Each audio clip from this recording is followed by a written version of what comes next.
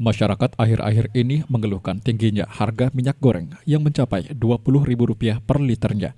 Kenaikan harga minyak goreng disebabkan tingginya harga CPO di pasar internasional akibat pandemi COVID-19. Menyikapi kondisi ini, pemerintah menetapkan harga minyak goreng sebesar Rp14.000 per liter. Kebijakan ini mulai berlaku pada Rabu 19 Januari 2022 untuk mengantisipasi penimbunan dan harga di Sperindak Provinsi Lampung melakukan pengecek. Hasil pengecekan dapat dipastikan stok minyak goreng di Lampung aman.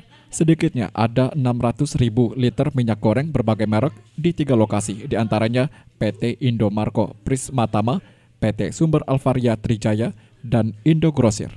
Merek di Indogrosir ini eh, bisa dikatakan sangat aman, ya banyak gitu ya ada berbagai merek, ada Fortune, ada Bimoli, ada Filma, ada Sania, ada Tawon, ada Fitri gitu ya. Nah ini kalau kami hitung secara kasar itu lebih kurang ada 500 ribu liter atau setengah juta ton, setengah juta liter minyak goreng.